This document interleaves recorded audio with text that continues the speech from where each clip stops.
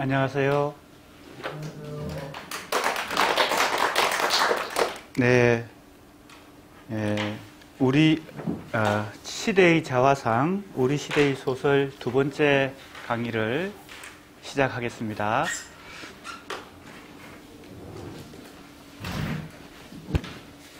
네, 한 가지 양해 말씀을 먼저 드리면, 어, 제가 이 강의 순서를 어, 우리 문화재단 선생님께 이메일로 보내드리는 과정에서 약간 착오가 있었습니다. 그래서 오늘 순서가 어,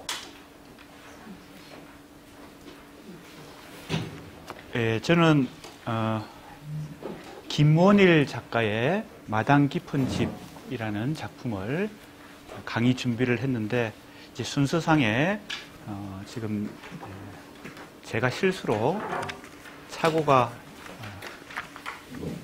음, 순서, 순서를 보내드릴 때 이메일로 보내드릴 때 착오가 있었습니다. 그래서 양기자 작가의 원미동 사람들을 아마 오늘 순서로 알고 읽어오신 선생님들이 많이 계신 것 같습니다. 그래서 죄송하다는 말씀을 좀 드리고 어, 제가 이 스케줄표를 두 번 보내드렸는데 한 번을 이렇게 제가 실수로 잘못 보내드린 것을 지금 이렇게 인쇄가 되었습니다. 그래서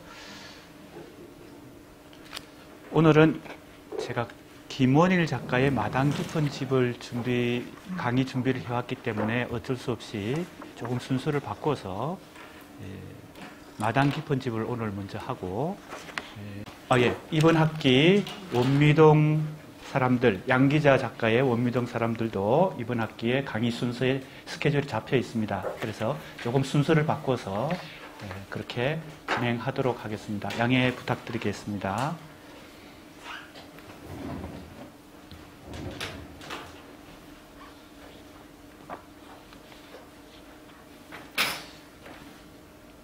지난주 첫째 강의 때 공부한 김승옥 작가의 무진기행과 서정인 작가의 강이라는 작품의 시대적 맥락은 어, 역시 1960년대라고 말할 수 있는데요. 어, 오늘 우리가 공부하는 김원일 작가의 마당 깊은 집은 1950년대 6.25 전쟁 직후에 어, 휴전 직후에 피난민들의 애환이 생생하게 살아있는 그러한 작품입니다. 그래서 역시 제가 지난주 어, 첫 시간에 말씀드린 대로 첫 번째 작품성, 두 번째 문학사적 의미뿐만 아니라 세 번째 기준인 시대적 맥락이 아주 잘 형상화된 작품이라고 말할 수 있겠습니다.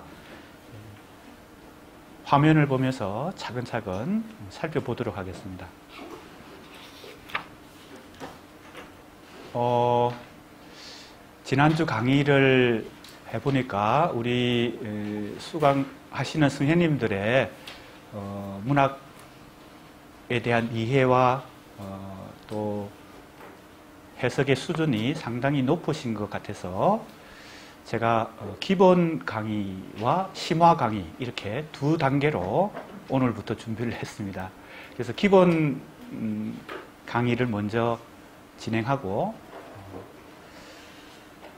이어서 어, 심화 강의라고 해서 이제 지금 음, 출력에서 배부해드린 두 개의 자료가 있는데 그래서 첫 번째 자, 자료는 기본 강의고요. 두 번째 자료는 좀 심화된 내용으로 강의를 준비했습니다. 참고하시면 좋겠습니다.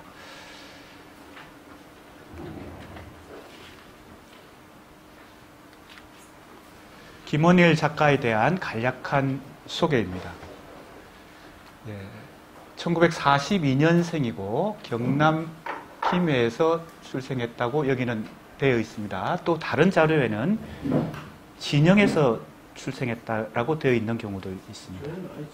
진영에서 출생했다고 하는 것이 어, 이 마당 깊은 집에 에, 이 주인공 길람이의 자, 자전적 소설.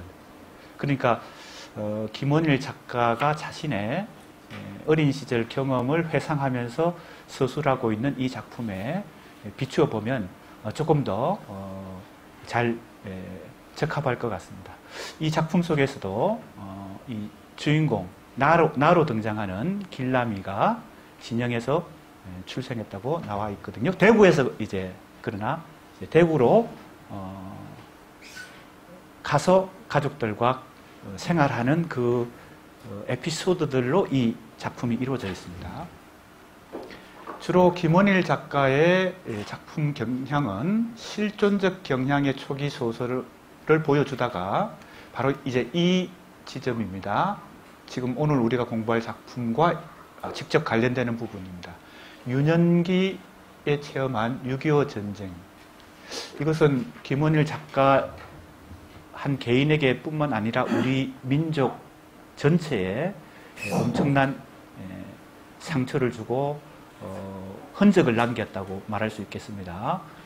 예, 정신적 상처뿐만 아니라 삶의 예, 물질적 부분까지 예, 송두리째 큰 상처를 주고 어, 지나갔기 때문에 그 이것은 이제 역시 시대적 맥락이 잘 나타나고 어, 그것을 소설로 형상화하는데 분단의 비극, 전쟁의 참상과 분단의 비극을 형성화하고 파헤치는데 주력했다고 볼 수 있습니다. 이것이 김원일 작가의 이제 중심 음, 작품 세계다 이렇게 볼 수 있고요. 그래서 대표적인 분단 작가라는 평가를 받게 됩니다. 그중 대표작이 바로 어, 오늘 우리가 같이 살펴볼 마당 깊은 집인데요. 평모 가정, 이제 이것이 실제 김원일 작가가 체험한 경험이기도 하고요. 전쟁통에 아버지가 그죠? 어, 부재한 것이죠. 에, 전쟁으로 인해서 사망할 수도 있고 이제 이북으로 끌려갈 수도 있고 아니면 예, 월북할 수도 있고 예, 여러 가지 경우들이 있는데 어, 각 개개인마다 다 경험은 다르겠지만 공통점은 어, 이 작품에 나타나는 이 주인공의 길람이라는 주인공의 이, 이 가정도 어, 아버지가 어, 부재한 예, 그런 상황입니다. 이것은 나중에 다시 설명하겠지만 한 개인의 경험에 국한되지 않고 이 시대 우리 민족 전체의 어, 경험에 에, 부합하는 어떤 상징성을 갖는다. 아버지가 부재한다고 하는 것은 북권, 아버지의 권한 뿐만 아니라 권위가 우리 사회 전체, 한국 사회 전체에 뿌리 뽑히는 그런 정신적 상징성을 갖거든요. 그것이 이제 이 작품을 이해하는데도 상당히 중요합니다. 그 다음에 배경, 배경이 되고 있는 공간적 배경은 대구라는 지역입니다. 자전적 성격을 가졌다는 것이니까 이제 우리가 문학과 예술이 반드시 경험한 것만을 사실 관계만을 서술하진 않죠. 그럼 그것은 소설이라고 말하기 어렵습니다. 그건 이제 실화죠, 실화. 그래서 논픽션이라고 말하죠. 그러나 소설은 픽션입니다. 즉, 허구의 얘기가 이제 소설의 기본 특성인데, 그럼에도 자전적 소설이라고 하는 어떤 속성을 가진 예, 소설이 있다면 그것은 상당 부분 어, 이 작가가 자기가 직접 경험한 실화를 토대로 그러나 허구를 가미하겠죠. 소설이기 때문에 100% 실화는 아니겠죠. 그러나 실화에 근거해서 어, 허구를 가미한 상상력을 가미한 그런 작품이다라고 말할 수 있겠습니다. 역시 구성을 이해하기 위해서 작품 전체의 줄거리를 뼈대가 되는 줄거리를 먼저 살펴보겠습니다. 지난 시간에도 말씀드렸지만 줄거리만 가지고는 소설을 다 이해할 했다고 할 수 없지만 일단은 예, 뼈대 전체적인 윤곽을 어, 확인하기 위해서는 줄거리를 어, 요약해 볼 필요가 있습니다. 먼저 말씀드릴 것은 이 작품의 중요한 특성은 구성상의 특성은 음, 보통 이제 이, 이, 작품 장편 소설이거든요. 장편 소설이기 때문에 어, 보통 중심 서사, 즉 중심이 되는 음, 이야기가 보통은 장편 소설에서는 등장합니다. 그리고 주변 이야기들이 이렇게 얽히고 설켜서 장편 소설을 이루죠. 근데 이 작품의 중요한 구성상의 특징은 중심 서사, 즉 중심 이야기가 그렇게 뚜렷하지 않고 여러 가지 이 사건들을 에피소드식으로 어 이렇게 다양하게 그래서 어떤 특성을 갖나면 세태 소설적인 특성을 갖습니다. 6.25 이후에 이 대구를 중심으로 어 경북 지역에 영남 지역에 이 피난 온 이북에서 피난 오기도 하고 아무튼 전쟁을 피해서 피난 온 사람들의 그 애환을 다루기 위해서는 이 그 시대의 세태를 예, 소개하는 예, 식으로 어, 소설이 되고 있기 때문에 중심 서사가 사실은 음, 쉽게 찾을 수 없습니다. 그렇지만 그래도 크게 두 가지 줄기의 예, 이야기 줄기, 줄거리를 찾을 수 있습니다. 그래서 첫 번째 어, 줄거리는 바로 나와 어머니의 관계를 중심으로 이 소설이 전개된다. 이렇게 볼 수 있고요. 두 번째 예, 줄거리는 조금 이따가 어, 말씀드리도록 하겠습니다. 초등학교를 졸업하고 대구로 올라오게 되는데 이 길, 길남이라는 예, 주인공 1인칭이죠. 나라는 인물입니다. 그런데 이 소설 전체는 어른이 된 길남이 자신의 어린 시절을 회상하는 식으로 소설이 진행, 처음부터 끝까지 진행이 됩니다. 그것이 이 소설의 이제 중요한 어, 시점, 어, 소설 방식이 됩니다. 그것이 이제 어떤 효과를 가질까요? 어, 이 당시의 1인칭 주인공이 아니라 어른이 된 1인칭 주인공이 과거의 어린 시절 자신을 돌아보기 때문에 예, 전체 당시의 현장성을 기억을 통해서 어, 회상을 하는 예, 그 효과가 어, 생기죠. 그래서 그 시간이 지난 30년이 지난 이후에 이 소설을 읽어보면 30년이 초반부에 30년이 지났다는 얘기를 합니다. 30년이 지난 이후에 과거를 돌아보는 그 회상을 통해서 여러 가지 성찰도 하고 반성도 하고 그 30년 동안에 자기가 과거에 경험했던 것들을 되돌아보면서 정리도 하고 이렇게 되는 거죠. 그러니까 1950년 전쟁 이후에 이 시대상을 시간이 지난 이후, 30년이 지난 이후에 다시 회상하면서 회고하는 그런 속성을 가지게 됩니다. 이것이 이제 지난 시간에도 말씀드린 소설은 내용만 이해하는 것이 아니라 소설 방식, 어, 시점이라든지 화법이라든지 기법도 같이 이해하면 더 어, 작품을 이해하는 데 도움이 된다고 말씀드린 것과 같습니다. 그래서 이제 이 어린 시절에 나는 초등학교를 졸업하고 대구에 어머니를 중심으로 아버지는 지금 이제 안 계시고요. 어, 동생 둘, 남동생 둘, 누나 한 명, 어머니까지 있는 그 셋방살이에 예, 다시 어,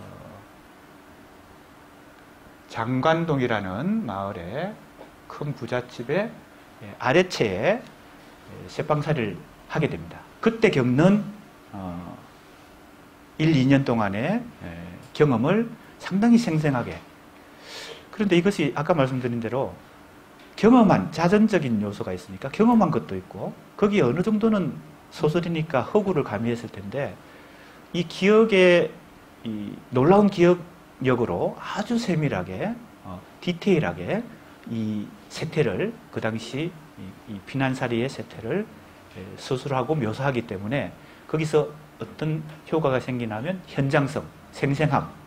소설은 사실은 그러한 디테일한 한 데서 오는 실감. 실감이라고 하면 이제 보통 우리가 현실감이죠.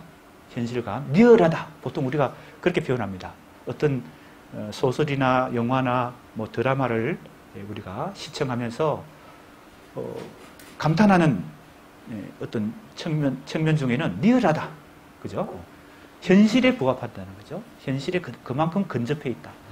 그래서 아주 생생하게 이 기억을, 기억의 힘으로 이것을 회상하는 것이 이, 작품의 중요한 예, 특징이 되겠습니다. 주인집이 위체고 아래체에 내 식구나 내 가정이나 새들어 살고 있습니다. 아마 전쟁 피난민들의 애완이 이런 이 집 전체가 이제 마당이 깊기 때문에 그만큼 이제 부잣집이고 큰 집이기 때문에 이제 마을 사람들이 이웃 사람들이 다 마당 깊은 집이다 이렇게 이제 말하는 그 집이죠. 그래서 아래채에 네 식구가 네 가족이 새들어 살고 있고 위채에는 또 여덟 식구가 또 식모 안식까지 살고 있는 이런 마당 깊은 집입니다. 그 배경으로 이제 여러 가지 에피소드가 전개되는 것이죠. 주인집 아저씨는 어, 이 대구 변두리에 공장을 예, 방직 공장을 아마 이런 것은 사실에 상당히 부합하는 것 같습니다. 당시 이제 1950년대 대구 근처에 이 방직 공작들이 많았다고 하거든요. 예. 아마 전쟁 특수도 있었겠죠. 그죠? 어, 군복도 만들어내고 이렇게 하는 것인데요. 아마 그것이 뭐 크게 중요한 건 아니지만 아무튼 어, 이 위체와 아래체라고 하는 이 집의 마당 깊은 집의 이 공간적 구조는 어찌 보면요 이제 우리가 모든 이 문학과 예술 작품은 해석의 다양한 해석들을 이제 독자들이 시도할 수 있고 거기서 새로운 것들을 많이 어, 어, 얻어낼 수 있잖아요. 파악해낼 수 있잖아요. 근데 이제 이렇게 그동안 어, 해석한 사람들이 있는지 제가 어, 확인은 못했지만 바로 이 구조 자체가 이제 일단 전쟁 통에도 부자와 가난한 자라는 이, 이 빈부 격차가 이 집 구조 자체에 형성되어 있는 것입니다.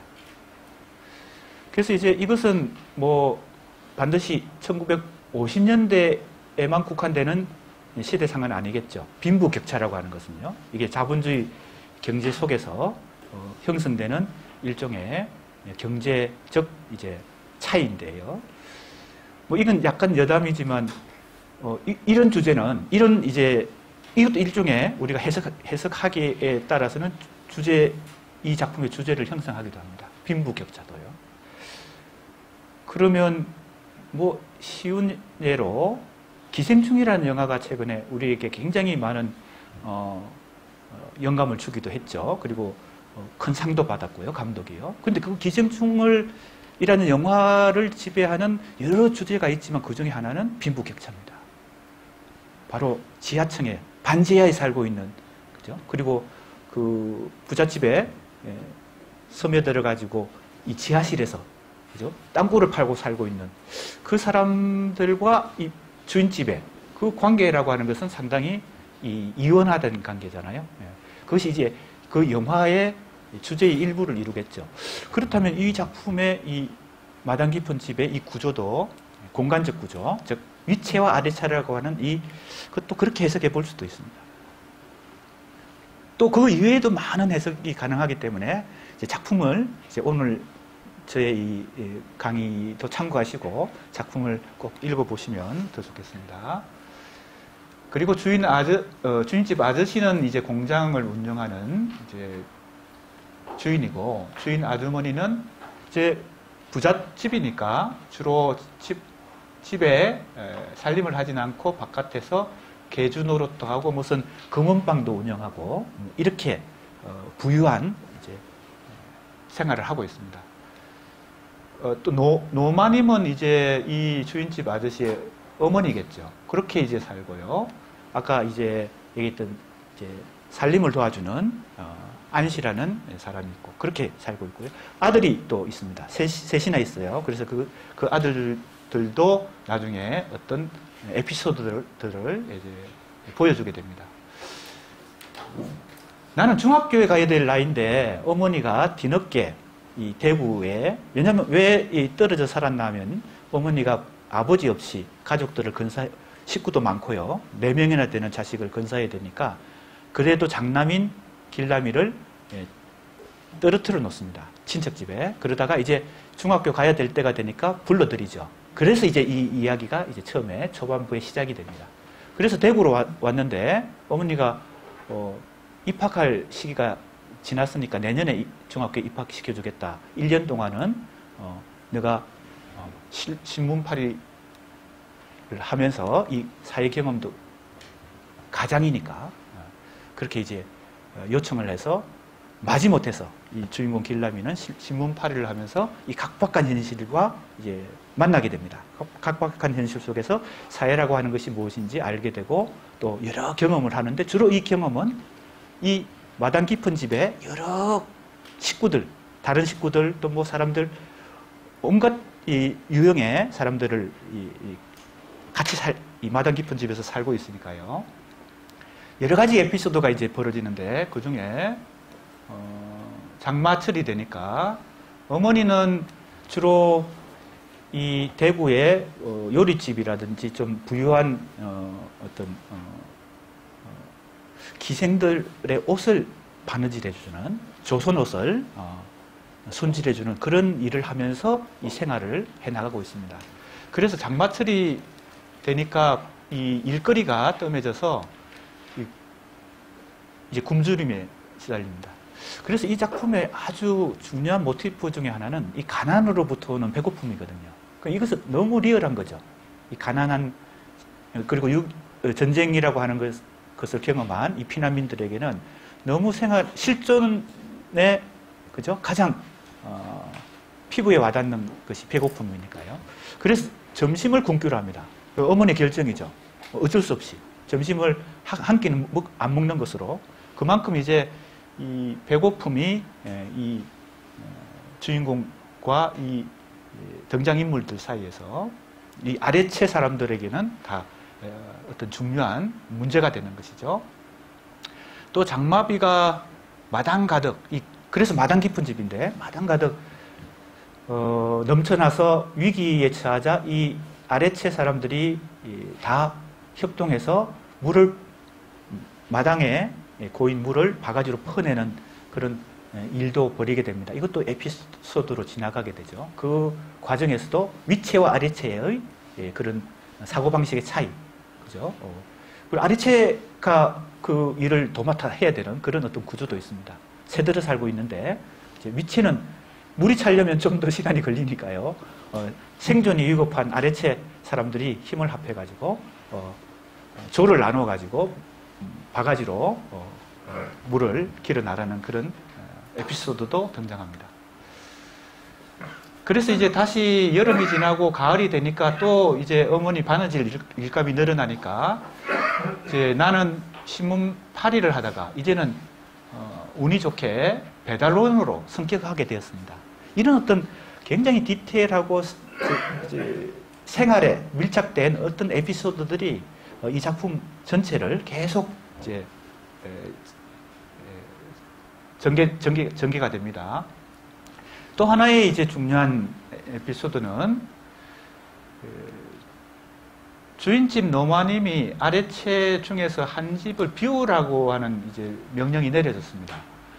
예, 손자 중에 예, 첫째 손자 공부방을 하나 어, 마련해야 되겠다는 이유로요. 그러니 이제 비상이 걸린 거죠. 그 다 이제 피난 온 이 네 가족 중에 한 집을 비워야 되는데 그 비우라는 것이 한겨울이었습니다. 그 한겨울에 이 식솔들을 이끌고 어디 다른 새, 새방을 구하기도 어렵고 이제 거지처럼 나 앉아야 되는 그런 위기 상황이 된 거죠. 그래서 이제 이, 이 스토리가 어떻게 전개되나 하면 어, 길라미 주인공의 어머니가 어, 그렇게 평소에 에, 어, 뭡니까 절약하고 음, 점심까지 굶기로 하고 뭐 이랬던 예, 분이 갑자기 겨울 땔감을 한 어, 트럭을 어, 그 트럭이 아니겠죠 한 한이 뭐, 뭐라 그러죠 이 리어카 한 리어카를 예, 주문을 해가지고 쌓아놓는 것입니다. 그 일종의 이제 전략이죠. 어, 이렇게까지 쌓아놨는데 우리 집을 내, 내쫓을까라는 어떤 그런 어, 기발한 생각 같은 것도 있었던 것 같습니다. 아무튼 그런 어, 그 그러니까 경쟁이 벌어져 가지고 이 장작 겨울 땔감 장작을 이내 집이 서로 경쟁 그, 그러고 나니까 서로 어, 어, 쌓아두는 예, 그런 예, 결국은 복잡하게 전개 이, 이 스토리는 복잡하게 전개되다가 결국은 제비뽑기를 하는 것으로 어, 이, 이 마나님의 명령을 이 집 주인 아주머니가 실행하는데 제비뽑기로 결정하게 되는데요. 결국 이 주인공 길람이 어머니가 그 제비를 뽑게 되어서 나가게 되는 상황이 됐습니다. 그, 그런 이제 에피소드 위주로 전개가 됩니다. 그런데 이제 그 에피소드를 지배하는 것은 역시 어, 이, 이 시대 6.25 전쟁 이후에 이 피난민들의 애환이죠. 그리고 그 속에서 어, 드러나는 인간성 이런 것들입니다. 궁핍한 어, 시대 상황 속에서 결국은 이제 조금 음, 줄거리를 요약하면 새들었던 사람들은 약속 기간을 채우고 모두 떠나고 나는 신문 배달을 하던 중 마당 깊은 집이 무너지는 것을 목격하고 슬픈 생각에 빠진다. 이것은 이제 거의 거의 결말 부분입니다. 상당히 어, 줄거리를 예, 많이 압축한 셈이 되겠습니다. 조금 있다가 다시 어, 세밀한 예, 학습을 다시 해보도록 하겠습니다. 일단은 이렇게 예, 줄거리를 한번 요약해 보고요. 자, 두 번째 줄거리는 첫 번째는 어머니와 주인공 아들 어, 길람 사이의 갈등을 중심으로 전개된다고 볼 수 있고 거기에 제가 아까 이 작품에서 중요하게 숨어 있는 부분은 아버지의 부재다 그렇게 말씀드린 거 아버지의 부재로 인해서 어머니와 이 장남인 길람 사이에 아주 어, 알, 어, 알, 알기 어려운 갈등과 긴장감이 형성됩니다. 이 길람은 워낙 어머니가 완강하게 자기를 어, 사회생활로 내몰고 아직 이제 중학교가 이제 입학해야 되는 그 시기에 어, 그런데 어머니 입장에서는 어, 이 각박, 각, 각박한 세태에 이, 이 어지러운 세상에 이 장남이라도 잘 현실에 적응해서 이 가족을 건사해야 된다는 그런 또 책임감이 있었겠죠.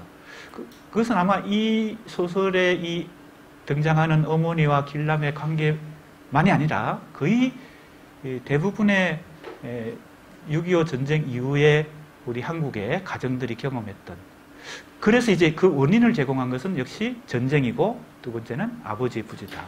이렇게 이제 해석을 해갈 수 있 습니다. 그래서 어머니와 어, 나와의 그 관계를 중심으로 전개되는 것이 이 작품 속에서 하나의 줄거리를 이룬다. 근데 그 못지않게 이 작품의 이 위체의 예, 주인집 사람들하고 아래체의 뇌체나 되는 이 아래체 사람들 사이에서 벌어지는 그 수많은 크고 작은 어, 이야기들 이것이 이제 또 이 작품의 또 하나의 음, 줄, 줄거리를 이룹니다. 조금 살펴보면요. 아래체 첫째 방입니다. 역시 이제 어, 이북에서 내려온 아 미안합니다 경기도 그래서 이제 경기댁이라고 이제 부르는 첫째 빵입니다. 경기댁 가족입니다. 역시 아버지가 부재하다는 공통점을 갖고 있습니다. 이 주인공 집 가족뿐만 아니라 이 첫째 빵 경기댁 가족도요. 근데 딸 미선이는 이제 처음에는 상당히 건실한 그래서 낮에는 음, 미군 부대에 가서 직원으로 일하고 밤에는 어, 야간 학교를 다니고 그래서 이제 어, 환복 옷을 두 번 갈아입는 거죠. 아침에는 출근복을 입고 오후에는 학교 가기 위해서 학생복을 입고 그런 어떤 미선이의 건실하던 그리고 착실하던 미선이는 멋쟁이로 이제 에, 소문이 났는데 나중에는 미군과 결혼해서 어, 도미한다 이렇게 어, 이야기가 전개됩니다. 근데 이 얘기도 사실은 상당히 시대상을 잘 보여주죠. 그래서 어, 경기댁 즉 미선의 어, 어머니는 나중에 여러 이 고통도 겪고 어, 불행도 겪고 애한도 겪고 이제 이 이야기가 즐거운 얘기, 얘기보다는 아주 예, 고통스럽고 불행한 얘기들이 줄을 이루는데요. 왜냐하면 전쟁 이후에 피난민들의 생활이니까. 그러나 이, 작, 이 작품의 중요한 특징 중에 또 하나는 그 고통스럽고 불행한 사건들을 전혀 감정에 어, 개입 없이 아주 잔잔하고 담, 담담하게 서술함으로 해서 오히려 이 작품이 품격이 살아납니다. 너무 이제 감정을 이입하지 않는 거죠. 근데 이 효과가 어디서부터 발생했을까요? 아까 말씀드린 거죠. 이 작가 김원일 작가가 이 소설의 서술자를 어른이 된 길남, 이 어린 시절, 유년 시절에 경험했던 이 어려운 고통스러운 예, 사건들을 회상하면서 쓰기 때문에 시간적 거리가 생긴 거죠. 그러니까 그만큼 담담하게 회상을 할 수 있었다는 것이고 그것이 이 작품의 상당히 중요한 예, 장점으로 작용합니다. 이 미선이 미군과 결혼하여 도미하는 사건은 그나마 그렇게 고통스럽거나 어려운 사건은 아닌 축에 들어갑니다. 왜냐하면 더 힘든 사건들이 많이 이제 나타나거든요. 둘째 방에는 장교였다가 어, 상위 군인, 즉 부상을 입고 퇴역한 장교 식구가 삽니다. 그래서 이 상위 군인은 상당히 트라우마를 겪습니다. 왜 그 부상이 이제 상당히 어, 신체적으로 이렇게 노출돼 있는 네, 부상이기 때문에 어, 훼손되었기 때문에 신체가요 상당히 트라우마를 보여주고 이것도 전쟁의 어떤 참상 같은 것 정신적 그리고 육체적 상처를 아주 상징적으로 보여주는 어, 어떤 등장인물이라고 볼 수 있습니다. 이것도 역시 한 개인에게만 해당되는 게 아니겠죠. 우리 시대 전체의 상징성을 갖는다. 이 육체적 상처, 정신적 상처라고 하는 것이요. 음, 그 1950년대 우리 한국 어, 모든 한국인들에게 이러한 상처가 있, 다고 볼 수 있겠습니다. 셋째 방에는 평양댁이 사는데 여기에 딸이 하나 있고 또 아들 둘이 있습니다. 이제 이 정태 씨가 이제 상당히 이, 작, 이 작품 속에서 이데올로기 문제를 와 결부되어 있는 인물입니다. 상당히 이제 어, 사상적으로 어, 사회주의 혹은 공산주의적 어, 사상에 뭐라고 할까요? 몰두해 있는 그런 인물로 등장합니다. 그래서 불만이 많은 거죠. 지금 이제 이 전쟁과 전쟁의 원인부터 시작해서 이 전쟁의 참상 그리고 어, 이 분단의 이 상처 이런 것들에 대한 어, 뭐라고 할까요? 자기 나름대로 이념적인 어, 사상적 어, 입장을 갖고 있기 때문에 이, 이, 현실 자체가 너무 불만스러운 거죠. 그래서 이제 그, 그것을 주로 이제 표출을 하게 됩니다. 곳곳에서 이제 표출을 하게 됩니다. 결국은 이 정태 씨가 음, 작품 후반부에 가면 월북을 시도하게 되고 사상범으로 감방 생활을 하게 되는 그래서 이 가족들은 다 이제 이, 이 일로 인해서 상당히 고초를 받게 되죠. 어, 경찰들로부터 고초를 받게 됩니다. 이것은 역시 이제 당시 이6.25 전쟁이라고 하는 민족 이 상잔의 비극 자체가 이데올로기 좌우 그죠? 어, 좌우 이데올로기 사상 대립으로 의 원인이 되었고 미국과 소, 어, 소련이라고 하는 강대국의 대리전을 우리 한, 한민족이 예, 북한과 남한이 벌였기 때문에 그 이데올로기적 문제를 어, 와 결부되어 있는 부분이라고 볼 수 있습니다. 미리 말씀드리면 김원일 작가는 그 이데올로기적 문제에 있어서 균형 감각을 상당히 잘 유지한다 이렇게 볼 수 있습니다. 좌파든 우파든 어느 이념으로 이렇게 어, 한쪽으로 자기 입장을 어, 세워서 다른 쪽을 비판하거나 이렇게 하지 않고 아주 균형 감각을 가지고 이 것이 우리 당시에 이 전쟁뿐만 아니라 전쟁 이후에 이 비극과 불행의 중요한 원인이 되고 있는 이 사상 문제, 이데올로기 문제를 균형 있게 있는 그대로 자기가 경험한 그대로 다루는 거죠. 이것도 이 작품의 중요한 특징입니다. 그래서 제가 지금 줄거리를 주로 말씀드리고 있지만 어떤 시점으로, 어떤 기법으로, 어떤 소설자를 통해서 어떤 방식으로 이 소설이 형성, 형성화되고 있는가 기법적인 측면을 항상 같이 고려하시면 좋습니다. 이렇게 사상적인 혹은 이데올로기적인 측면에서 균형 감각을 갖게 되는 이 기법적 근거가 되는 것은 어, 이 주인공 길람이 1인칭이잖아요. 1인칭이라고 하는 것은 소설에서 나라고 등장하는 인물이 1인칭입니다. 근데 1인칭이 이 소설 전체의 사건과 모든 주제의 핵심 인물, 즉 주인공으로 등장하기보다는 관찰자로 등장하는 거죠. 관찰을 하는 겁니다. 어린 시절에 자기가 경험했던 주변의 이 환경과 전쟁 이후의 상, 어, 고통과 주변 인물들과 이웃들과 그, 그죠? 어, 위치의 주인집과 아래체의 이 같이 그러니까 이제 어리숙하고 아직 세상 물정 모르는 어린 아이의 시선으로 이 사건들, 이 에피소드들을 다 다시 회상을 하고 있습니다.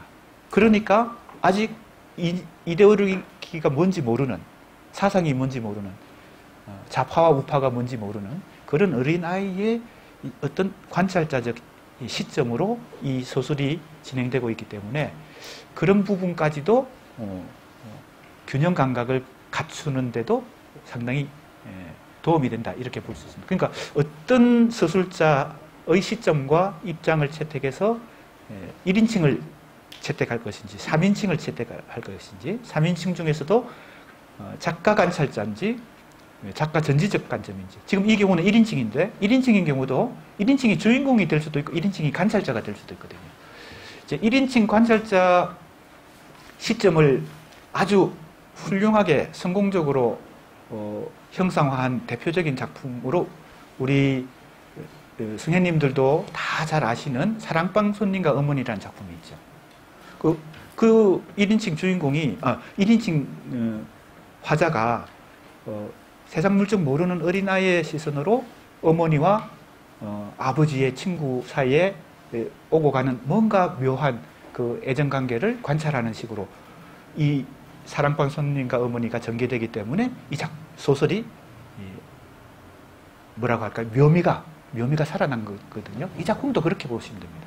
1인칭 관찰자 시점입니다. 이 길람이라는 이 1인칭 화자가 뭐 속속들이 다 알고 있는 게 아닙니다. 그래서 지금 음, 소개하고 있는 바로 이 어, 정태 씨가 이러한 사건의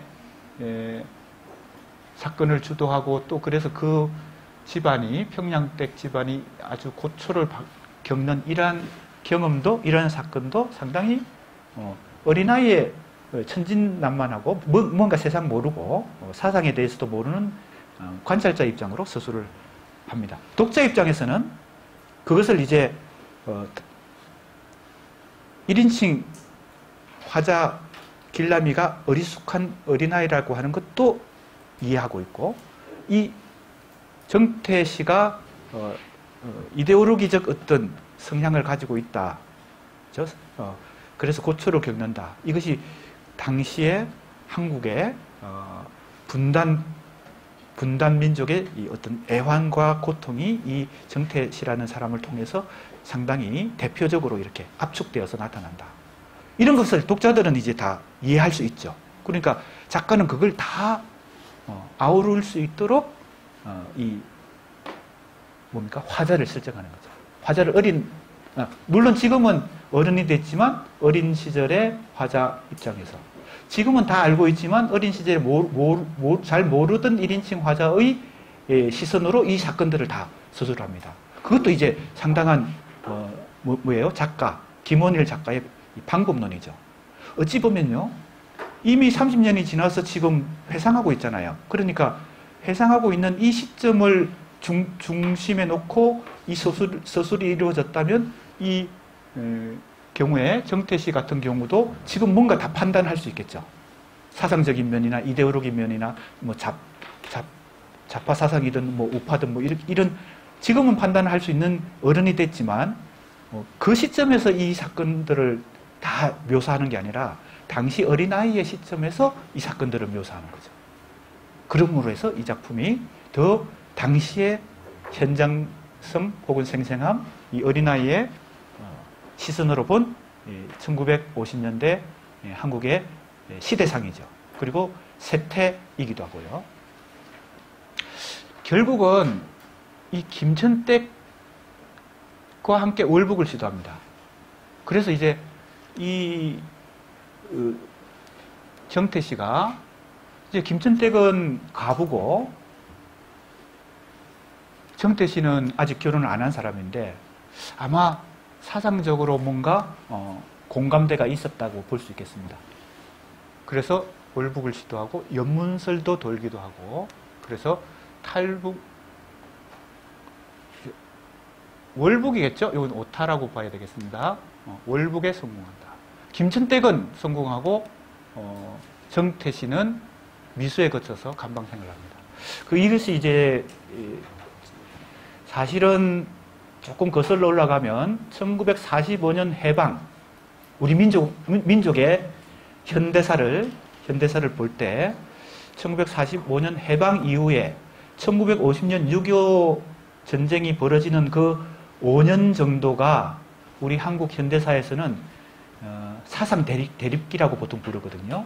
좌파 사상과 우파 사상의 치열한 대립이 우리 사회 전체를 송돌이 소용돌이 치던 그런 시기였거든요. 그러다가 이제 미, 미국과 소련의 어, 그 강대국의 힘에 틈바구니 속에서 이6.25 전쟁이 벌어진 것이고 지금 이 작품의 배경이 된 것은 그 6.25 전쟁이 휴전이 된 이후 직후에 이제 피난민들의 삶이죠. 그러니까 그 자, 좌우 사상 대립이라고 하는 1945년 이후 지금 50년대 초반까지 아주 우리 어, 한국 사회에 가장 어, 팽창해 있었던 그 어, 이데올로기 문제를 이 정태 씨와 김천댁을 통해서 어, 보여준다 이렇게 볼 수 있겠습니다. 결국은 김천댁이 방을 빼고 거기에 어, 평양댁의 정태가 사라지는 것으로 이제 이야기가 전개가 됩니다. 자 이제 작품의 후반부는 어느 정도 어, 이, 이, 격동의 시, 시기가 지난 이후에 약간 지난 이후에 이제 후일담 같은 것입니다. 그래서 이후의 얘기를 한번 정리해 보겠습니다.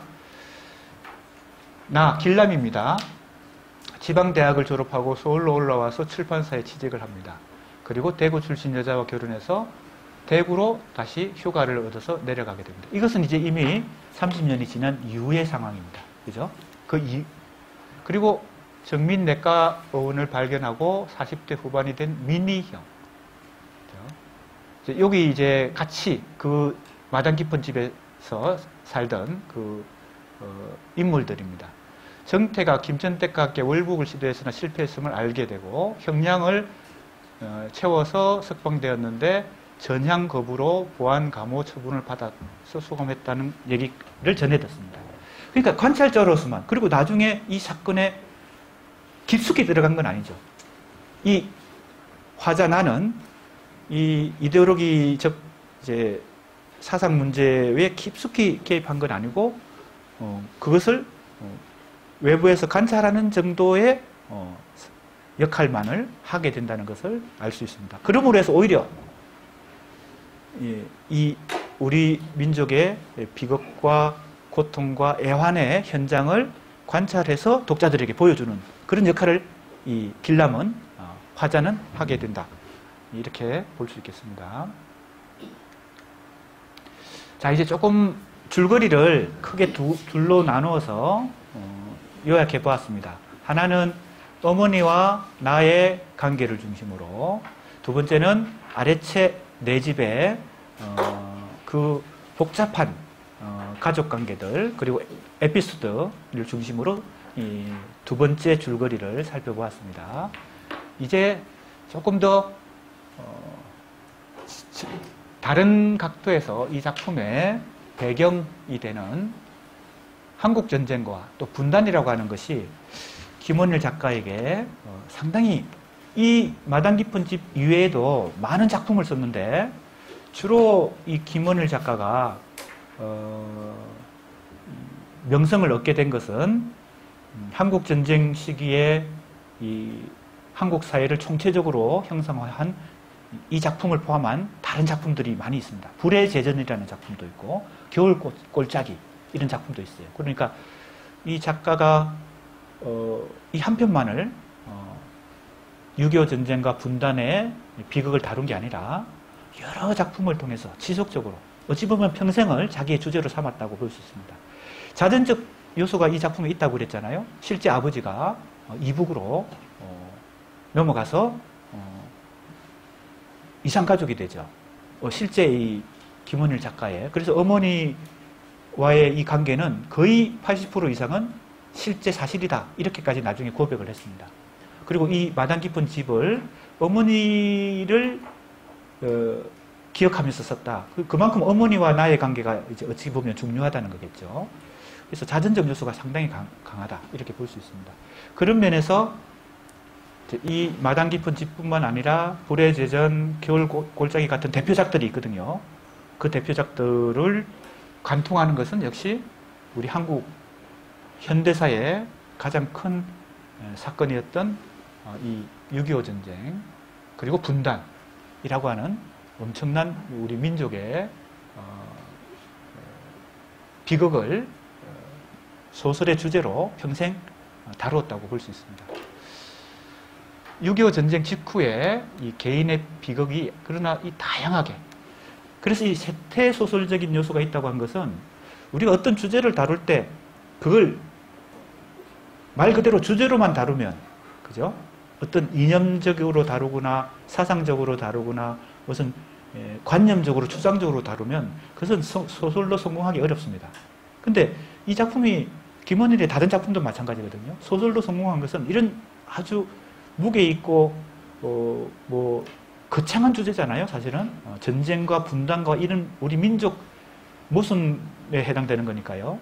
아까도 말씀드린 거지만 이 작품을 이렇게 평가를 많이 하거든요. 근데 제가 볼 때는 개그 모순도 있어요.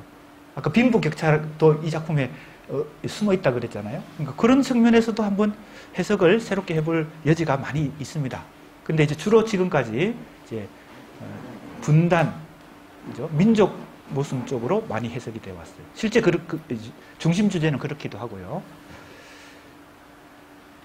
그런데 그것을 정말 이 디테일하게, 어, 꼼꼼하게 기억을 되살려가지고 정말 작은 얘기도 예, 재, 재현해냈다고 할까요? 어, 어린 시절에 경험한 걸 그대로 재현, 해냈다. 물론 거기에 아까 말씀드린 대로 실화도 있지만 상상력도 가미되어서 그게 이제 소설의 중요한 장점이죠. 그래서 이제 우리 선생님들 잘 알고 계시겠지만 소설이라고 할 때 소자가 한자로 적을 소자를 씁니다. 왜 작은 이, 이야기일까? 궁금하, 궁금해지잖아요. 소자를 씁니다. 소자. 그것은 이 소설의 중요한 특징, 기본적인 특징이 시시콜콜한 작은 얘기로부터 시작한다는 그런 뜻을 갖고 있습니다. 사실은 이게 영어로는 작, 작다는 뜻을 쓰지 않거든요. 픽션이라고 쓰거나 novel이라고 쓰거든요.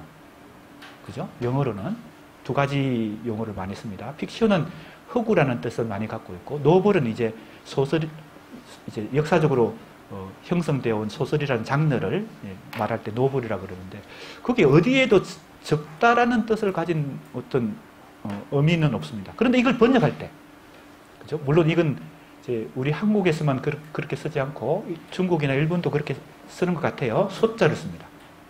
그 번역은 어찌 보면 이 장르의 속성을 잘 그죠 이해하고 번역했다고 볼 수 있습니다.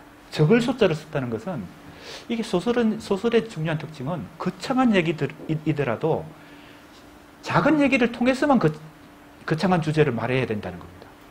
그래서 이제 이게 이, 이 소설의 특, 마당 깊은 집의 중요한 특징이기도 하고 이러한 가족사 소설이라는 또 하위 유형이 있습니다. 소설이라고 하는 것 중에는 이제 소설을 유형으로 나눌 때, 분량으로 나눌 때, 그죠? 어, 우리는 단편 소설, 중편 소설, 장편 소설 이렇게 나누기도 하죠.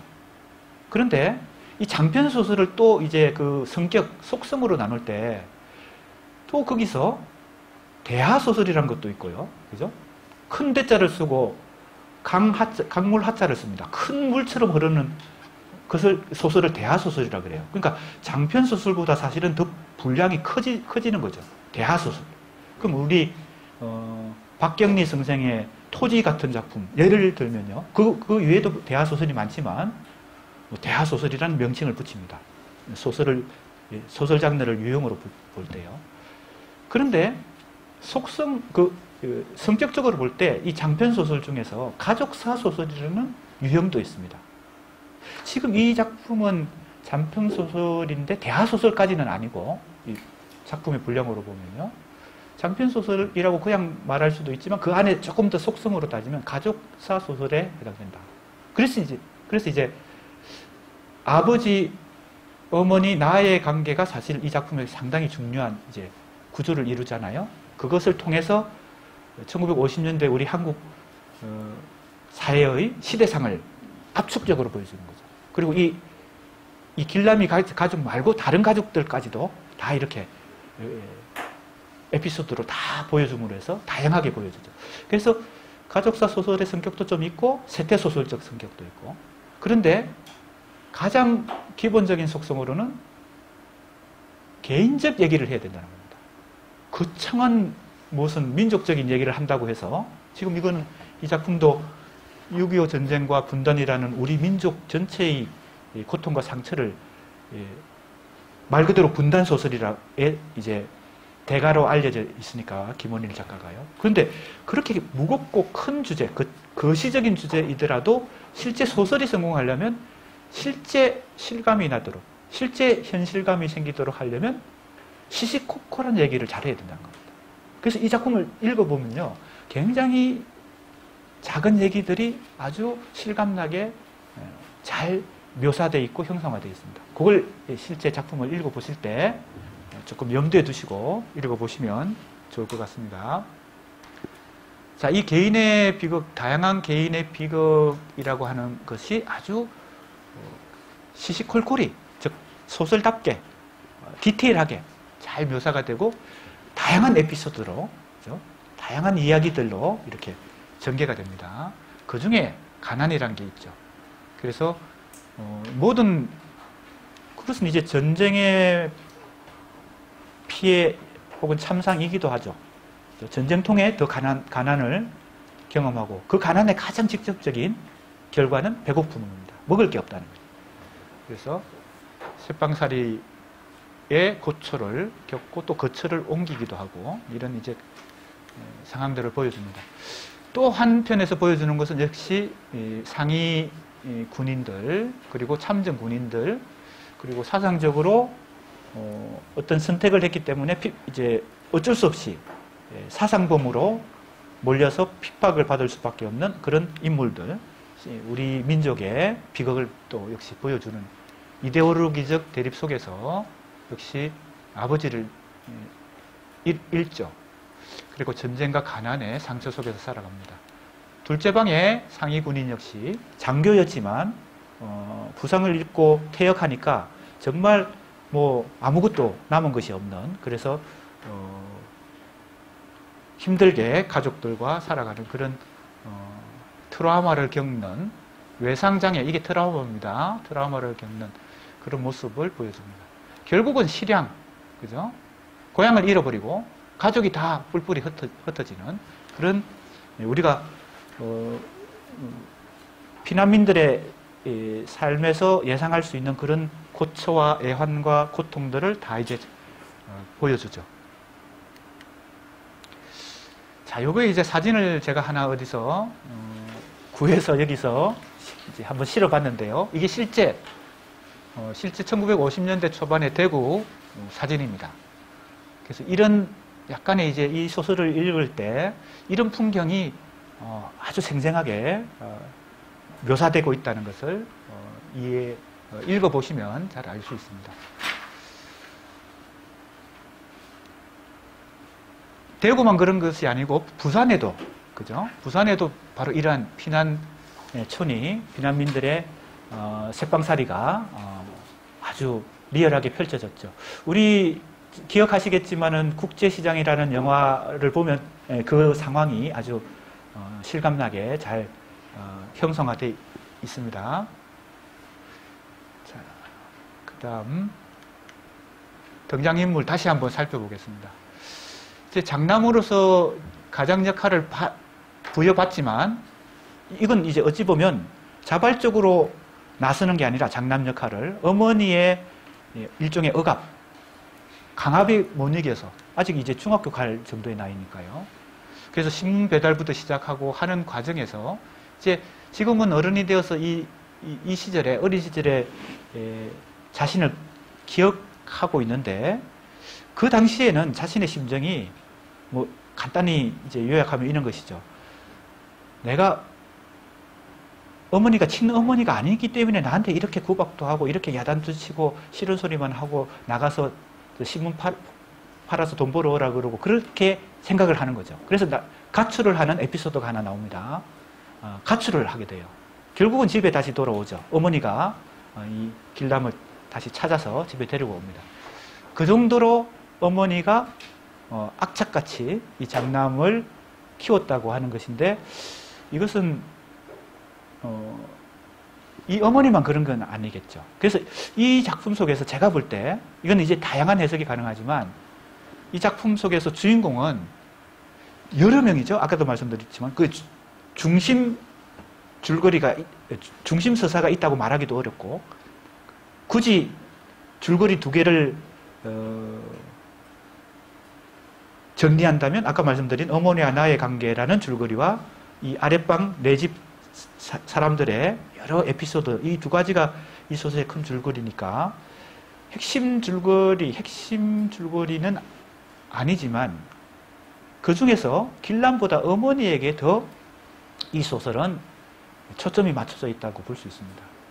이 피난민 시절에 어머니가 어떤 역할을 했고 아버지 없는 가정에서 어떻게 가족을 건사하면서 고통을 이기고 견디면서 살아왔는가. 이것이 이제 이 작품에 어찌 보면 더 중요한 길람의 경험보다 어머니의 경험이 더 중요하다. 그래서 어머니가 하는 여러 어, 말들 중에서 주제가 은연중에 표출되는 부분들이 많이 있습니다. 길람은 아직 뭘, 뭐 세상 모르는 순진한 아이의 시선이고요. 이 어머니가 어, 이 시대, 세태, 그리고 1950년대 한국 사회의 이, 이 모습을 어, 얘기하는 과정에서 넋두리를 하는 거죠. 자기 신세 한탄을 하는 과정에서 이 작품의 중심 주제 같은 것들이 언년 중에 노출이 됩니다. 그것은 좀 이따가 이제 두 번째 복사물 살펴볼 때 자세하게 제가 그 작품 텍스트도 인용을 했거든요. 텍스트 인용을 한 걸 같이 살펴보시면 더 조금 실감나게 이해하실 겁니다. 왜 어머니가 이 작품에서 이 길라미가 주인공처럼 보이지만 사실은 표면적으로는 길라미가 주인공인데 사실은 예, 내면적으로는 어머니가 실제 더 주인공이다. 그렇게 음, 말할 수 있겠습니다. 어머니죠. 바로 어, 악착같이 정말 가족을 건사하기 위해서 그리고 길라미 특히 이제 어, 가혹하리만큼 엄격하게 훈육을 하거든요. 그래서 이제 길라미가 오해까지 하죠. 어, 나는 어디서 아버지가 밖에서 나와가지고 데리고 온 어, 자신인가 보다 하고 이제 오해를 합니다. 어, 점심도 안 주고 뭐 구박도 하고 나가서 신문 팔아서 돈 벌어오라 그러고 막 그러니까 중학교도 안 보내주고 1년 동안 그러니까 어, 오해를 해서 가출까지 합니다. 그런데 이제 이것도 이제 이 당시 음, 지금은 우리가 이해할 때 조금 오해 뭐- 뭐라고 할까요? 비판적으로 다른 각도에서 볼 수도 있는 면이 있습니다. 장자 의식이거든요. 장자. 즉 너는 우리 집안의 장, 장남이기 때문에 우리 집안을 어, 다시 뭡니까? 어, 다시 세우고 우리 집안을 어, 어, 너가 책임져야 되기 때문에 너가 사회, 사회에 어, 나가서 빨리빨리 성공해야 된다. 이런 예, 생각을 어머니가 하고 있고 그걸 이 길람이한테 집중적으로 훈육을 시키거든요. 지금 우리가 생각하면 이건 가부장 의식이죠. 아버지가 없기 때문에 더 그렇게 했겠죠. 그러니까 아버지가 있다면 아버지가 가장이고 가부장이었을 텐데 이 어머니의 이 사고방식 속에는 이 장남에게 이 집안을 맡겨야 된다는 그 가부장 의식이 있는 겁니다. 그래서 이제 지금 우리가 생각할 때는 그런 면에 대해서는 또 이, 이, 이 작품에 더 노출되고 있는 이런 가부장 의식에 대해서는 또 한번 다른 음, 비판적으로도 한번 접근해 볼 수 있는데 아무튼 그, 그런 면도 있습니다.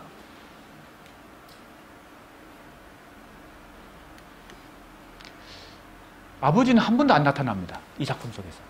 그러나 부재의 형, 부재의 방식으로 이 작품에 엄청난 영향을 주고 있죠.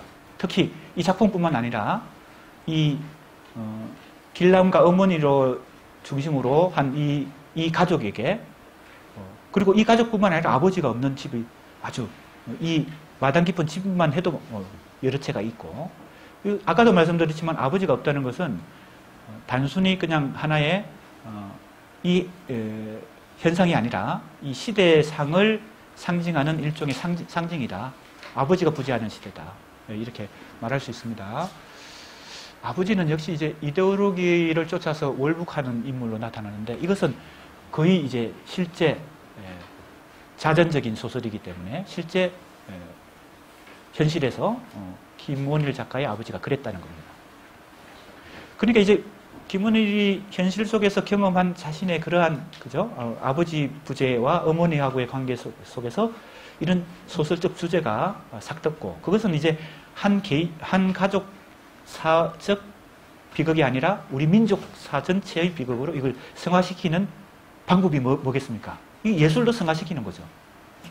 자기로서는 한 개인의 상처고 비극이지만 이거 우리 민족 전체의 예, 상처와 비극으로 형성화하는 방법은 예술로 이것을 여러, 여러 가지 예술이 있겠지만 이제 김원일 작가가 선택한 것은 소설 쓰기를 통해서 이것을 뭐 성화시켰다고 볼 수 있습니다. 그래서 소설이 우리가 이번 학기에 이제 소설 공부하면서 제목으로 삼은 것이 시대의 자화상, 그죠? 그리고 우리 시대의 소설 이런 제목을 삼은 것도 바로 그 핵심에는 개인의 경험에서 오는 고통과 상처를 우리 민족과 국가 전체의 어, 상징으로 형상화할 수 있는 방법 여러 가지가 있겠지만 그 중에 하나가 예술 창작이다. 예, 소설 창작을 통해서 김원일 작가가 그걸 시도한 것이죠. 태역 장군, 신체적 장애, 정신적 트라우마, 김천댁은 결국 이런 정말 어, 힘들고 각박하고 어려운 어, 세상 속에서 세태 속에서 정태 씨와 함께 월북을 시도한다. 이것도 상당히 이 두 사람은 이데올로기적 어떤 어, 관계를 어, 갖고 있다 이렇게 볼 수 있습니다. 그것도 역시 시대적 맥락을 우리 시대의 맥락을 아, 1950년대 특히 맥락을 잘 예, 보여주는 것이라고 볼 수 있습니다. 이데올로기 문제도요. 자 이제 주제를 다시 한번 정리해 보겠습니다. 이미 말씀드린 거니까 간단히 정리하고 넘어가겠습니다. 전쟁 직후에 분단의 현실을 특히 자전적으로 보여주는 거. 그 다음에 이 마당 깊은 집은 전후 한국 사회의 어떤 엉축이다. 그 집 하나의 이제 축소판인 거죠. 그래서 우리가 한국의 이, 이러한 이제 소설뿐만 아니라 또 이제 우리가 잘 아는 외국 소설들 중에서도 이렇게 어, 한 시대 혹은 한 사회의 어, 전체적인 총체성을 엉축해서 어, 이 소설에 등장하는 하나의 공간 속에 압축적으로 보여주는 경우가 있죠. 그래서 이제 제가 아까 상징성, 시대, 시대적 상징성을 갖는다. 이 작품도 바로 그런 것이죠. 이 집의 모습은 전쟁 이후 한국 사회의 응축된 어떤 모습이고 또 그 속에 이 인물들이 다 정직하고 뭡니까? 어, 뭡니까? 어, 정의롭고 어, 또 민족과 국가의 어, 발전을 위해서 어, 개인을 희생하고 그런, 그런 인물들이 등장하는 게 아닙니다. 다 그 순간순간 자기 이익을 위해서 자기 가족들의 어, 안위를 위해서 다 이제 어, 사기도 치고 뭐 거짓말도 하고 뭐 때로는 뭐 이렇게 하는 거죠. 경쟁도 하고 뭐 그렇게 합니다. 한 집이 어, 셋방살이 네 집 중에서 한 집이 나가야 된다 그러니까 그 안에서도 경쟁을 하는 거죠. 안 나가려고. 그러니까 이런 모습을 통해서 어, 시대 시대 자체가 그런 인, 인간형을 만드는 거죠. 그래서 기만적인 어떤 시대의 불행한 모습들도 보여준다 이렇게 볼 수 있고요. 이제 성장서사다 이렇게 볼 수 있습니다. 기본적으로 이 소설은 또 여러 소설을 유형별로 나눌 때 성장 소설이라는 게 있죠. 다른 말로는 다른 용어로는 입사 소설이라는 용어를 씁니다. 입사. 입은 들어갈 입자고요. 어, 사자는 사해할 때 사. 그러니까 사해에 들어간다. 그러니까 어린아이가 성인이 되어서 사회에 진입하는 과정을 그린 소설 이런 뜻입니다. 입사 소설, 성장 소설이란 용어나 입사소설이라는 용어나 어, 비슷합니다. 이 작품은 그죠 성장소설, 입사소설의 성격을 많이 갖고 있죠. 어린아이가 어, 떻게 해서 어, 어른이 돼 가는가. 그 과정에서 경험한 주위 인물들의 어, 사건들, 에피소드들, 어머니하고의 관계, 그죠? 뭐 자신의 모습, 이런 걸 어, 아주 디테일하게 예, 잘 보여주고 있기 때문에요. 주인공 나의 성장 서사를 통해 독자들과 자기 연민의 공감대를 형성합니다. 저도 이 작품을 읽으면서 어, 뭐라고 할까요? 남의 일 같지 않다 이런 생각을 하게 됩니다. 그래서 이제 연민도 느끼고 이 인물들에 대해서 아, 나도 저런 상황이라면 그죠? 며칠을 굶었으면 어, 이 주인공이 가출을 해서 하도 배고프니까 쓰레기통에 있는 이 국수 같은 걸 집어 먹는 장면이 잠깐 나오거든요. 나도 그, 저 상황이면 그렇게 하지 않을까? 뭐 예를 들면 하나의 예를 드는 겁니다. 그런 것을 포함해서 많은 이, 이 에피소드들이 아, 저 상황이라면 나도 그럴 수 있다라는 이런 연민 혹은 공감대 이런 것들도 어, 느낄 수 있는 예, 그런 작품이다 이렇게 볼 수 있겠습니다. 자, 이 이중 구조가 이제 여러분 제가 말씀드린 거기 때문에 간략하게 그냥 정리하고 넘어가겠습니다. 개인 사적인 혹은 가족 사적인 얘기를 거기에 그치지 않고 시대사, 그죠? 어, 시대의 모습으로, 시대의 자화상으로 그려냈다. 그죠? 그래서 역시 전쟁이 낳은 어떤 음, 후유증, 전쟁의 상처, 그죠? 그 다음에 아주 정말 비루한, 그죠? 어, 누추한 일상들을 있는 것들을 다 보여주거든요. 상당히 그래서 이것이 우울하고 참담한 분위기인데, 그러나 그렇게 비극적이고 불행한 사건이지만, 아까도 말씀드렸지만, 상당히 담담하게 그려냈기 때문에 오히려 저는 성공한 것 같아요. 이 소설이. 너무 그게 감정이입을 하게 되면 독자도 힘들어지잖아요. 근데 이걸 너무 담담하게 그린, 묘사하니까. 근데 이렇게 담담하게 묘사할 수 있도록 만든 장치는 뭐예요? 이 장치란 게 중요한데 장치는 제가 아까 말씀드린 용어는 소설 기법입니다. 바로 시점을 예, 이미 어른이 된 시점에서 과거를 예, 회상하는 기법으로 하고 있기 때문에 그 담담한 어떤 말투가 말투가 나오는 거죠.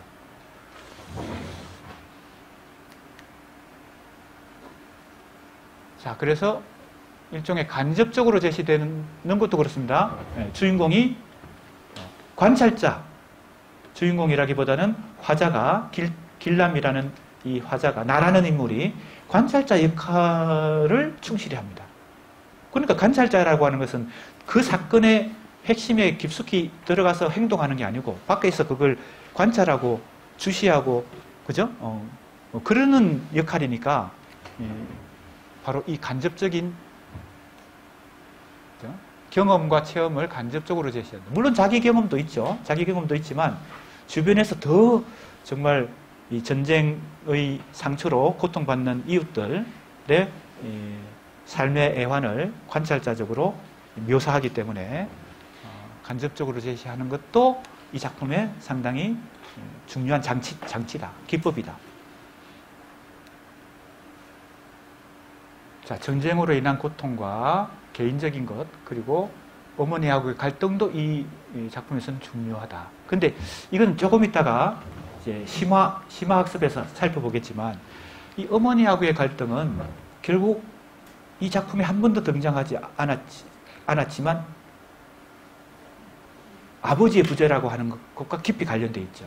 그래서 그것은 아버지의 그림자가 이 어머니와 어, 나의 갈등의 원인이 되고 그것이 이제 제가 말씀드린 대로 이제 가부장 의식과도 연결되지만 어, 전쟁 이후에 우리 한국 어, 사회에 음, 큰 충격을 준 부성의 부재, 부성의 부재 네, 그것과도 관련된다. 핍진성이라고 하는 용어는 생생한 현, 현실감 이런 뜻입니다. 현실에 딱 다가가는 거. 추상적으로, 관념적으로 접근하는 게 아니라 체험, 체험적으로 접근하는 거. 이런 것을 핍진성이라 고 그럽니다. 그래서 전쟁 소설도 많지만, 그리고 분단 소설도 많지만, 이 소설이 다른 전쟁 소설, 분단 소설보다 더 성공적이라고 평가받는 이유는 아까도 제가 말씀드렸지만, 시시콜콜하게 그 하나하나를 어, 세밀하게 묘사하고 현, 실감을 주었기 때문에 그 당시 그, 그, 그런 면에서는 경험이란 게 이 소설 창작에 굉장히 중요한 원동력이 된다고 볼 수 있습니다. 머리로만 소설을 쓸 수 없다는 거죠. 얼마나 경험하고 물론 경험만 갖고 되는 건 아니죠. 아까도 말씀드렸지만 어, 실, 실제 경험한 것 플러스 상상력인데 경험이 어, 중요한 원동력이 됩니다. 이 현실감을 얻기 위해서 모자 갈등 한번 살펴볼까요? 역시 어, 이 더러운 세월이라는 것은 이 아까도 말씀드렸지만 어머니가 넋두리처럼 한타, 자기 신세 한탄하면서 말끝마다 하는 얘기가 이 더러운 세상, 아, 더러운 세월이라는 말을 씁니다. 이것이 이제 사실은 이 소설의 주제와 아주 어, 가까이 다가가 있다고 볼 수 있고 어머니의 이 넋두리 속에서 주제가 은연중에 나타난다고 볼 수 있습니다. 이 더러운 세월, 세월이라는 것은 역시 전쟁이라고 하는 그 비극이죠. 민족 사적 비극입니다. 그것이 난, 그죠? 더 현실적인 이 가족으로서는 아비 부재, 아버지 부재라고 하는 것이 결국은 가난과 배고픔이라는 생존의 문제로 연계되는 것이죠. 그런데 이제 이 화자 길남의 입장에서는 가장 피부에 와닿는 고통은 어머니의 이 엄격한 예, 교육입니다. 교육이라기보다는 그냥 뭐 에, 잔소리와 그죠? 어, 야단치는 것인데 혼육인데 이렇게 말하는 거죠. 여기 따옴표가 있는 것은 이제 작품에서 인용한 것입니다. 앱이 없는 집안의 장자라는 말을 계속 합니다. 그러면서 이제 어, 뭡니까? 어, 다구치는 거죠. 계속 몰아 세우는 겁니다. 신문팔이 해서 돈 벌어오라, 뭐 하라, 뭐 이제 장작도 패라. 이제 주인집은 장작 패는 일꾼을 들여가지고 이제 겨울 나는 장작을 막 사흘, 사흘에 걸쳐서 패거든요. 근데 그걸 이 어머니가 길라면한테 가서 유심히 어떻게 장작 패는지 보고 오라는 거죠. 왜? 우리 집 장작은 너가 패야 되니까. 어? 우리는 일꾼 들일 돈이 없다. 너가 패야 되니까. 그러니까 그런 식으로 모든 것을 다 고치니까. 근데 요것도 그 1950년, 뭐 50년대만 그렇게 했습니까? 어, 뭐 7, 80년대, 뭐 지금도 그를, 그, 지금은 많이 사라졌지만, 지금은 사라졌지만, 이것이 이제 우리 시대상이기도 합니다. 이 어머니가 이런 사고 방식으로 이 장남을 훈육하는 거, 특히 아, 압이 없는 집, 집이니까요. 이것이 이제 우리 한국 사회의 하나의 뭐라고 할까요? 상징적 풍경이 아니, 아니었을까. 그죠? 특히 이, 이 시대에. 전쟁 이후에 이 시대에. 그래서 앱이 없는 집안의 장자. 이런 말이 계속 어, 이 가부장 의식도 보여주고 또 장자 의식도 보여주죠. 자, 그래서 아까 말씀드린 대로 엄청난 억압감을 받고 또 심리적으로 굉장히 고통스러워합니다. 그래서 어, 주운 자식, 아, 주운 자식은 아니고 어, 아버지가 데리고 온 자식일지도 모른다. 그래서 가짜 엄마다, 계모다 이런 생각을 이거 상상으로 하는 겁니다. 왜냐하면 자기한테 너무 가혹하게 대하니까. 그래서 어, 이런 심리도 있는 그대로 보여줍니다. 지금은 이미 사- 이 30년이 지난 지금에서 보면 그건 가짜 심리일 텐데 그 당시 심리를 그대로 보여주는 거죠. 제가 아까 말씀드린 대로 그 어린아이의 예, 시점에서 관점에서 서술이 진행됩니다. 자, 이렇게 결국은 나와 엄마의 화해가 이제 등장한다. 그래서 이 장편 소설의 가능성을 보여준 것은 사실은 에피소드 위주로 이 아주 잡단, 아까 제가 마- 말씀드린 시시콜콜한 어, 디테일을 다룬다는 것이 바로 이 잡단 일상입니다. 에피소드라고도 말할 수 있고 잡단 일상이라고 말할 수 있는데 그런 면에서 아까 제가 적을 소자 예, 그 소설에 충실한 작품이죠. 그래서 어찌 보면 그런 특성이 에피소드 위주의 작품이기 때문에 장편 소설의 어, 어, 서사적 어떤 동력이라고 할까 어, 힘을 얻기는 조금 어려운데 오히려 이 사실적 힘, 그죠? 디테일의 힘, 그죠? 세밀한 어떤 사실성 그것이 이 작품의 장점이다. 뭐 이런 이제 결론을 예, 내릴 수 있겠습니다. 자 이제 기본 학습은 이 정도로 하기로 하고요. 잠깐 휴식한 후에 조금 심화 학습을 또 해보도록 하겠습니다. 예, 그럼 한 10분 정도, 15분 정도 휴식하겠습니다.